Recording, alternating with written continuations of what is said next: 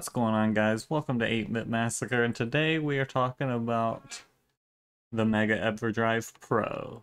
This thing is what you want if you're a Sega fan, hands down. If you got a modded Sega Genesis especially, or a Mega SG, this thing is gonna be heaven. Uh, this thing not only supports Sega Genesis slash Mega Drive games, but you can play Master System and Sega CD, which makes this thing just the best. And so, standard Genesis cartridge with you got a mini USB port, the SD card slot, and then that little button is for if you're playing Sega CD games where you got to change the disc. That's pretty cool, huh? And so let's check this thing out. It's pretty awesome. Alright, so as you can see, I got all my folders set up on the Mega EverDrive Pro with my Genesis games, Master System, Sega CD.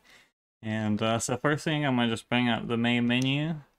Alright, you got your About, diagnostic check. If I click, it'll start doing it. So you got the information on the device. Cheats, you got your Game Genie, built-in Game Genie list of recently played, you can just easily jump right back to stuff. You can kind of see some of the stuff I've been playing. And then your basic options, with most of these being pretty self-explanatory. Good stuff for you to set up how you want. Alright, so first things first, we'll just start with Master System, then go Genesis, then go Sega CD. Going into Master System games, the first thing you want to bring up settings, and you're gonna want to go to system, hardware, force three button mode if you're using a six button controller. Get rid of that, and then we'll try out some. Ooh, Alex.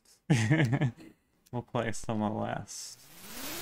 As you can see, the um the Master System games, they'll add junk like the sides or top or bottom. Occasionally we'll just have like a colored bar. And you can um, use the settings like on the Mega SG to cut that off but it's constantly changing screen to screen and game to game. It doesn't really bother me. And so I just leave that alone and, and just play. But you can fix that if you want or leave it. Um, but once you're in the game you can't really bring up um, the main menu. There's no save states, and you can't adjust anything in-game. You can just bounce uh, back out of the game. But uh, this game's odd. Look, this looks beautiful. But you see the junk at the top and bottom, and there's the main. Um, so that's just something for you to think about, but you can adjust uh, the colored bars. Okay. God, this looks good. Beautiful, beautiful. I will play some Sonic, some basic Sega, so you can see again. You can do cheats and stuff like that from here and then start, but like I said, once you're in game, you can't really pull up any menus or do much of anything. You see the the blue bar on the side of bottom, but yeah, this thing plays great. It feels responsive, no lag. Everything's crisp, colorful pops. I mean, look at this. Beautiful. Alright, now that we're done with that, we will... Oops. We're gonna undo free button mode. Mm-hmm. now we're gonna check out some Genesis games. Alright. Alright, let's check out some Castlevania Bloodlines. I love this game. It's an awesome Sega game. You know, you got your basic menu going in. Yeah, look at that. Beautiful.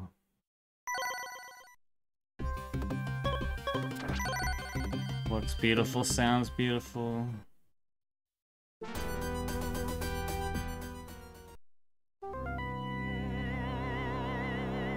Look at that.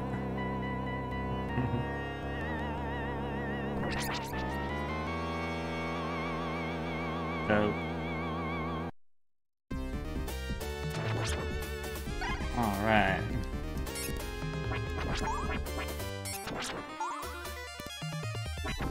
Heck yeah. Plain, beautiful, responsive. Then if you bring up the menu, that's the ladder effect. If I if I bring up the menu while the music or sound is going, the ladder effect keeps.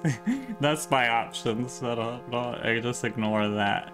But yeah, you have save states, load states. You got 99 of them. Cheats, uh, reset, exit. You know, good stuff. Well, we're gonna play actually some RoboCop versus Terminator real quick. the music's awesome. The gameplay is good. It's gory. Way better than the Super Nintendo version. Super Nintendo has the cool comic book cutscenes. This one just has text cutscenes, but it has, um, this has the gameplay.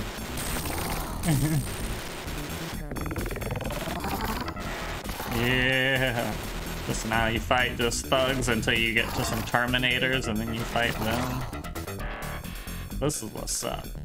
Alright, and now for the Sega CD. I think the Sega CD is very underrated. It gets a bad rep because of the full motion video games, but it's got a great library. Ever since I got this Mega EverDrive Pro, once I delved into the Sega CD library, I've been playing the crap out of it. I love it. Super underrated. Uh, so here we go. I don't have all the Sega CD games because I couldn't fit them all on my the SD card I was using, but I have most almost all the best ones, I would say. So what are we gonna check out? Alright, first thing source, let's check out some Lords of Thunder. I've played the TurboGrafx version, but not the Sega CD version. Um, and real quick, we want to bring up uh, audio. We want to enable cartridge and CD audio for Sega CD games.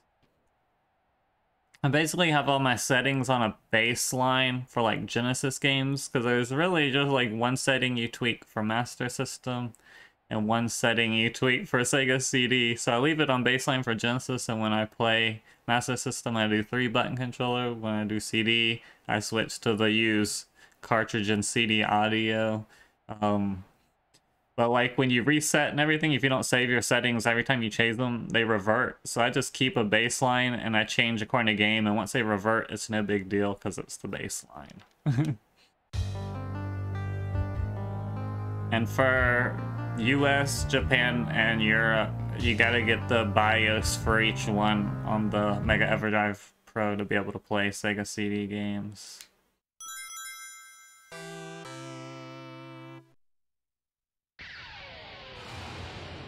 Oh yeah, that CD audio.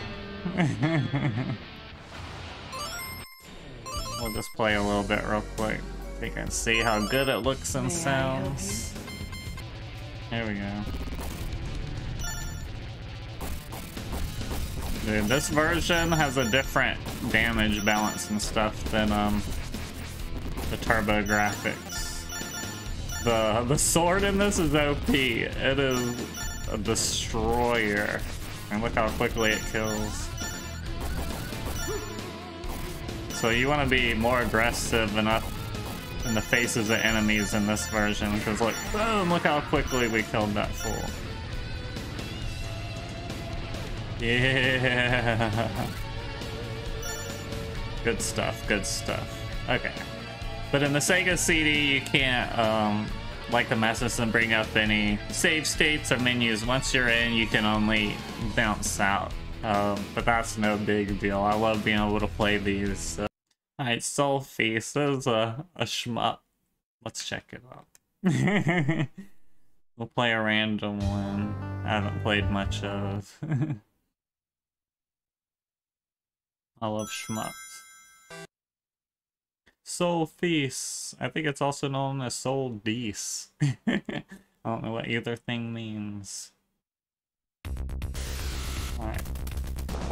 Ooh. Starts right into it.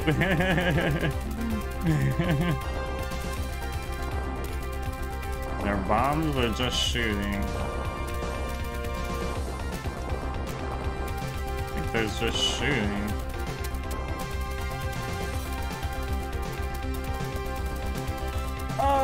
What the? Okay. You gotta kill those to make the way. Oh! Debris. What's that? I don't even know what I'm seeing half the time in this piece. Jeez. Hi.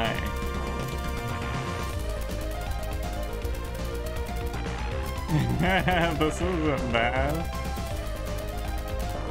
Oh!